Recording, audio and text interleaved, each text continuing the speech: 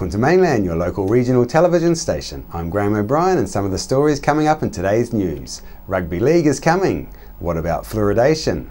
Good news for the family cycling season and more. Local hero Simon Mannering, captain of the Vodafone Warriors, said he is looking forward to a home match after news that the Vodafone Warriors will be bringing NRL football to our South Island city for the first time next February. Trafalgar Events Director Aldo Miccio said he and co-director Barry Galbraith were delighted a Nelson trial had been made possible. Trafalgar Events Director Aldo Miccio said he and co-director Barry Galbraith were delighted a Nelson trial had been made possible. Mr Miccio went on to say to have the Vodafone Warriors at Trafalgar Park for the first time and playing another NRL side of the Dragons quality is going to be the premium sporting event on the Nelson calendar in 2016 a pre-season matchup against St George Illawarra at Trafalgar Park for Saturday, February the 20th, 5pm kickoff. As previously reported by Mainland, fluoridation seems to be a controversial issue. The Nelson Marlborough District Health Board have put considerable time and resources into promoting fluoride to Nelson's water supply. However, Mayor Rachel Reese stated the fluoride issue should be the responsibility of central government, not local bodies. I rang DHB Media Communications Officer Jane Horder for comment about the DHB stance regarding fluoride. Yeah, I'm just, I mean, because we've got we've got this one group saying this thing, and we, I mean, it'd be really good to get two groups here and, and get some of the facts out out in public. It, it seems, I mean, you know that uh, from the last public meeting that you had, that the people were very um, upset that they didn't really get to say anything, and now we have, they've organised their own public meeting with their own speakers. I mean, I, I personally would like to see the DHB there to counter any things that are, are not facts. I mean, you need two sides of every story. Yeah. We're well aware of that, yes, and we know that they've organised the meeting. Yeah. And um, as I said, in future there will be um, a statement. But but but there won't but but there won't be actually anyone from the DHB attending as DHB to to counter any non unfactual stuff that's that's being said if if it is being said. I'm unable to confirm that at this stage. Okay. Is there any chance that we can have um, a representative from DHB come on to mainland and do a do an interview about um, this issue? Um, I don't think that will be possible um, in the short term. Um, uh, no, not in the short term is the answer. Um, but um, in, in future there will be, you know, there may be opportunities, but um, in, in the short term, no, not like not between now and the weekend certainly. Well, well, yeah, okay. Um, I, I, did email at the beginning of the week. Um, Jane, I'm just, I'm just really. Yeah, okay. Um, Jane, I'm just really concerned because we, have got the DHB um, saying that you know, they're, they're saying that they want a fluoride in the in the water, and and they've they've hired someone to promote that. Yet there's no way that we will, we can actually um, talk with DHB and, and, and get some statements from them. There will be opportunities in the future, Graham, and, and we will issue a, a statement, there will be opportunities in the future. Okay, is it just for me? It seems like the only people that don't want to talk about fluoride are the ones who are who are doing it. Well, no, um, we're not doing the fluoride, actually. It's a Nelson City Council decision. It's not the DHB's decision. I was under the impression that the Nelson City Council said that it's a central government issue. They would like it to be a central government issue. At the moment, it is still in the realm of local authorities. But the Mayor has said it's an issue for central government. Well, that's, that's what the Mayor said, but um, at present, the way the legislation is, it's a local authority decision. So, uh, sorry, just if I can get this straight, the DHB is not pushing the fluoridation issue. The Nelson City Council is. No, no, no, no, no, no. That's not what I said. Okay, sorry. Can you just clarify what I'm you said? I'm not a spokesperson for you either, Graham. I'm afraid. Okay. Um, so you know, uh, you can, I'm not commenting on it, but I'm just reporting the same to you if you say that's what the council's saying, and that's what we're saying. Well, that's what they are saying. That, that, that, obviously, you must know. I mean, you're the media comms person. Um, that's the last statement from the mayor is that it's a central government issue. But now you're saying as DHB, media communications, that it, it is a it is a. I'm not now, saying that. I'm not saying that. Um, the the DHB will ha has a position on fluoride. Yes. And that's yeah, that's common knowledge. Yes and we and and people would like to know more about that that stance and and why they're taking that stance and and we'd like to have it in, in the public domain and talk about it and, and have the facts out. And that will happen in the future. Well, there's a big public meeting on the 28th this weekend. That well, that would be a great time, do you not think, for the DHB to put forward uh, the, their side of the story? That the DHB will be issuing a statement. But not before the meeting. Okay. All right, Jay. Thanks very much, and we'll look forward to a statement. And really look forward for an interview, and looking forward to um, some information about this issue. Due to the perceived lack of consultation over this issue, the Nelson Fluoride Free Community Group has organised their own public meeting this Saturday the 28th at the Stoke Memorial Hall from 3pm till 5pm. Guest speaker is Dr Stan Litras, founder of Fluoride Free Network for Dentists. All welcome to attend this free community public meeting. To kick off the magical festive season, Melrose House will have its Christmas lights switched on this year by Nelson Mayor Rachel Reese. Chrissy Small went along to Melrose House and spoke to one of the committee members about what is coming up for us to enjoy at this beautiful historic place. And, and I, I feel a little guilty that Jude Tarr is not here right now. This was her idea on our board. We have a marvelous board, society of people helping with everything going on here at Melrose. We're getting the momentum back up again. And Jude came up with the idea that we should participate in the Lights On Nelson this year at Christmas time because Melrose House is so stunning at Christmas time with the lights and all the decorations and so forth. So this Friday, which is the 27th, we are um, hosting, everyone in Nelson is invited to come and have a picnic on the grounds. Mayor Rachel Reese will be coming to officially flick on the lights at sunset, and I believe that's 8 o'clock. So come, bring a picnic, and uh, just enjoy the grounds. It's your public park. You own this property, Nelson. So enjoy it and come see us turn on the lights. Wow, what an invitation that is. I hope that everyone can make sure that they've got some time in their diaries to fit that in because that's something that the, even the children will remember for Absolutely. the rest of their lives. Yeah. So so this year this is our first year of doing this. So next year we'll probably even have more lights. Oh, and I should also mention that the lights have been very generously donated by Mitre 10 Mega. And the fire department, thank you to you guys. They put the lights up for us. so it's really been a community effort. With all the beautiful weather lately, many families will be dusting off their bikes ready for some family cycling fun. The Nelson Tasman Cycling Trust has been quietly working away to make cycling more accessible and safe for us all. Elizabeth Bean, one of the volunteer trustees, shared some exciting cycling news for the Nelson region. Elizabeth, thanks for coming to talk to us today.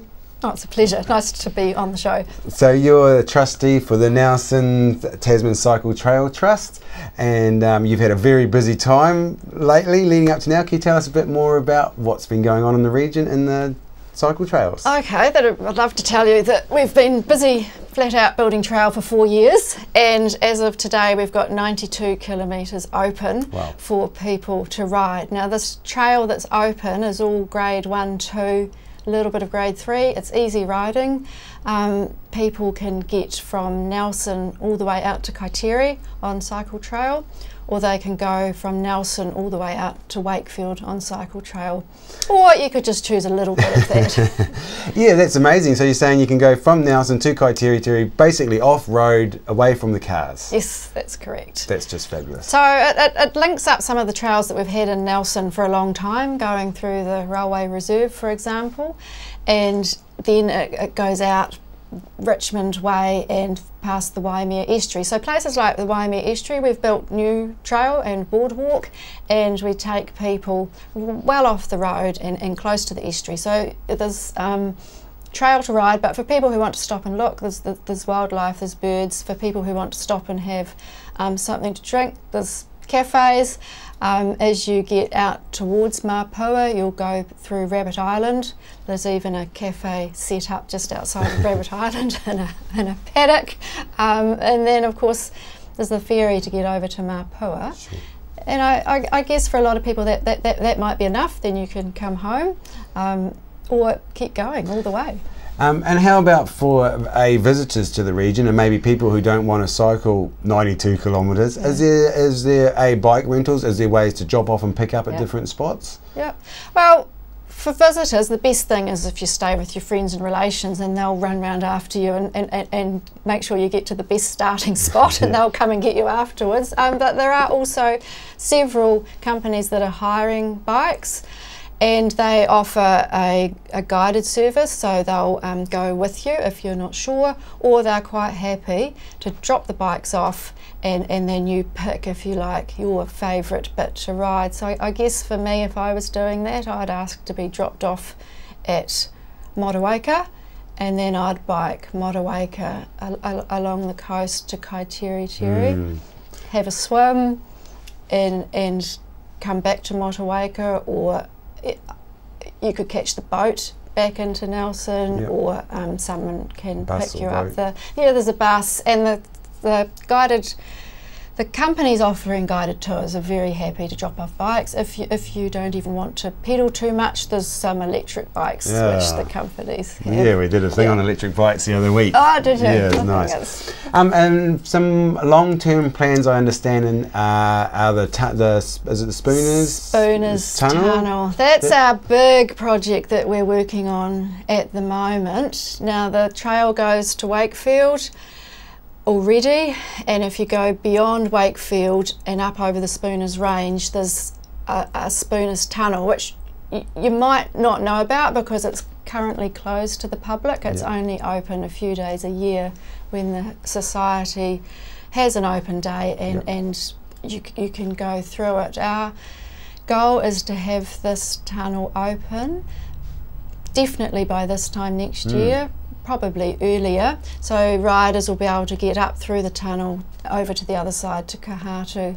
and that will be really exciting because Yeah. once you're at Kohatu, you're then opening the way up to that whole rural hinterland, yeah. Tapawera, and the Tapawera community is really keen, obviously, Yeah, to see cyclists get through. And it's to them. lovely around the back there. That Tapawera Mm. Drive is, is fantastic. Mm, So, beautiful um, pastoral outlook. Yeah. So I, I think that is one of the great things about the, the trail. You start in Nelson, which is an urban experience. You can come out along the coast and you can go um, past horticulture if you're going out Brightwater Way. There's, there's vineyards, there's farmland all the way. If, if you're going Motueka, you've got apple orchards and, well, more vineyards. there's a lot to get sidetracked by, that's for sure. wineries, um, breweries.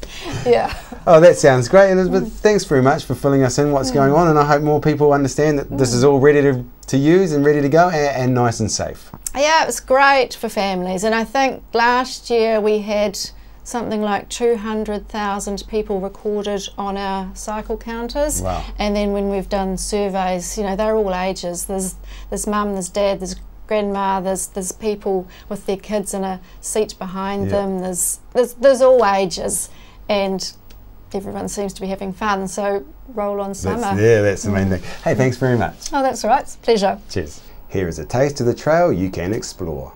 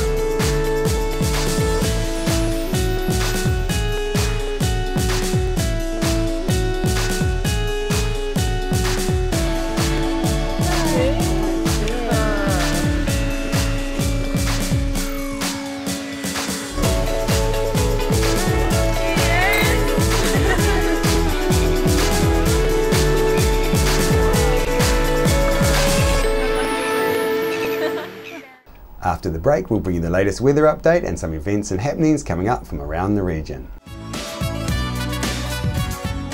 Edward Gibbon, the bathroom specialist, have a great range of bathroom ideas at their showroom at 23 McGlashan Ave in Richmond. Call in and check out some of the latest bathroom designs and fittings. Edward Gibbon, the bathroom plumbing and drainage supply specialist, 23 McGlashan Ave, Richmond. Are you looking for a scooter, walker, wheelchair, baby seats, or pushchairs? Then come in and see the Nelson Region Specialist at Mobility for You, 269 Queen Street, Richmond, opposite the library. We have a huge selection of scooters, walkers, wheelchairs, and accessories, along with a free booklet guide. We also provide a breakdown service if you ever get a puncture or a flat battery we have fully equipped service vans to rescue you. Hi, I'm Robin Jordan and I invite you to call in and see the friendly team at Mobility for You, 269 Queen Street, Richmond, opposite the library.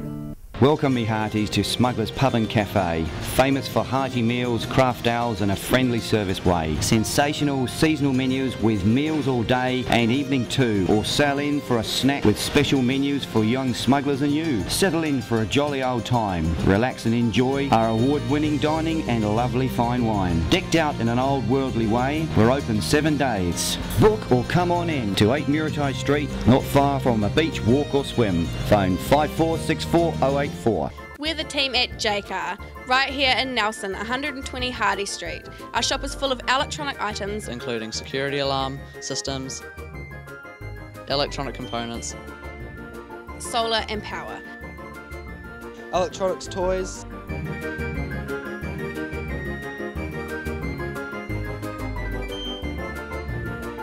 Sound systems, cables, and much, much more.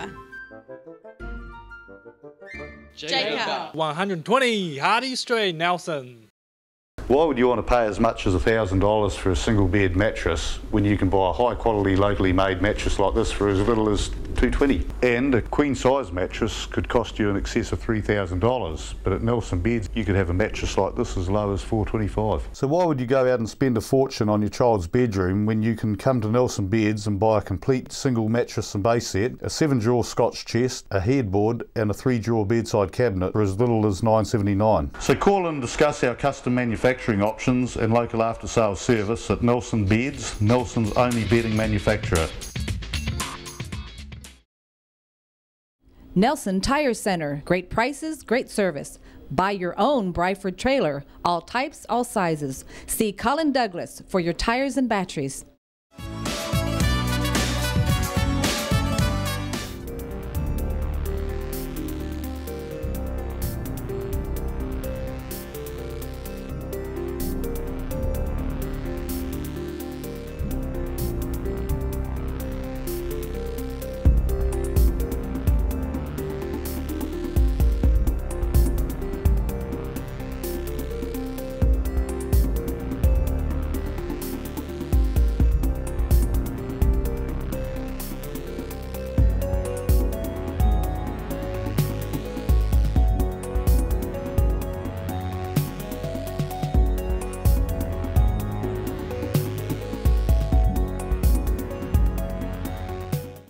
Stoke Senior December event Thursday, December 3rd with talented singer and pianist Frank Maria with his Christmas concert.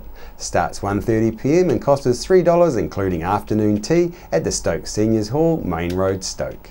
Celebrate science with Cawthron's Family Fun Day at Victory Community Centre this Sunday the 29th of November. Rocket launching, interactive exhibits and spectacular shows provided by the Science Roadshow. Explosive demonstrations and talks by local scientists. On behalf of the team here at Mainland Television News, thank you for joining us and we'll bring you the latest news and events from around the region again tomorrow.